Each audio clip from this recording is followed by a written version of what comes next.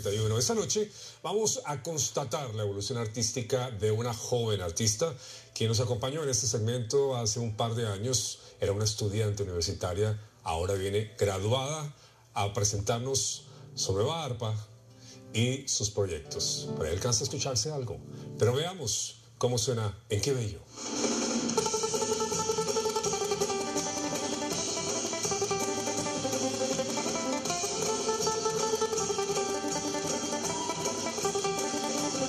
Un gusto que estés con nosotros. Hola, gracias, no, gracias, es, es un honor estar aquí de nuevo contigo a mostrarte esta arpa diferente, esta propuesta diferente que es como el arpa eléctrica.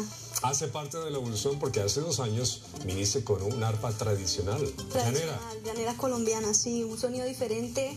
Eh, esta es una arpa eléctrica, como puedes ver, tiene un sonido más electrónico, es un poco más moderno. ¿Por qué decidiste hacer ese cambio?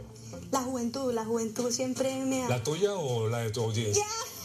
la audiencia. Las dos. Las dos, las dos. La audiencia joven, eh, algo diferente, una propuesta innovadora. Siempre he querido llegar a ellos, entonces supe que con el arpa eléctrica podría ser algo mucho más moderno, más Te diferente. permite hacer nuevos sonidos. Definitivamente. Mucho más práctica, me dices que más liviana. Uh, sí, más liviana, me puedo mover en el escenario, es visualmente es atractiva, el color, todo. Puedes lograr entretener un poco más en el escenario. Felicitaciones, te graduaste de la universidad. Yeah. Sí, industria y comercio musical fue un trabajo arduo, fueron un poco más de cuatro años.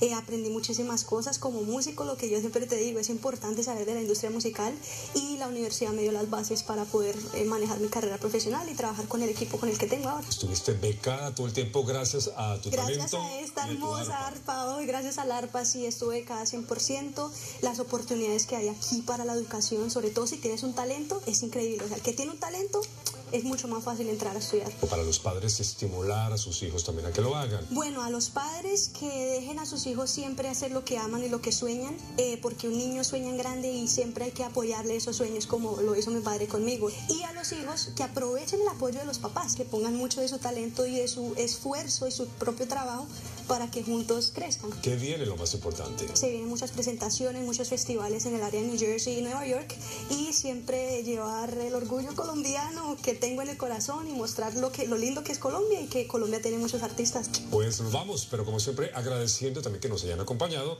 y los dejamos con la música de Enque Bello y su arpa. Hasta la próxima.